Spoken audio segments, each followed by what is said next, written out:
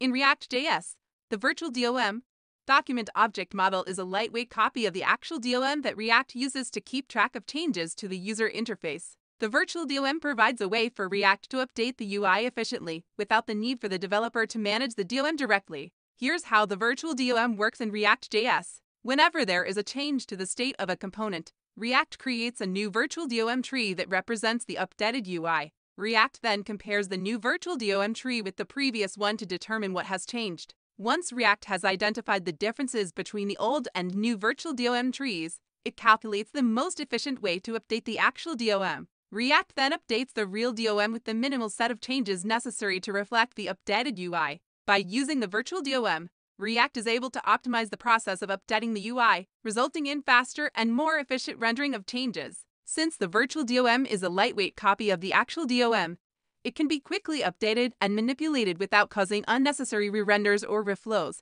Overall, the virtual DOM is a key feature of React.js that enables developers to build complex UI with high performance and maintainability.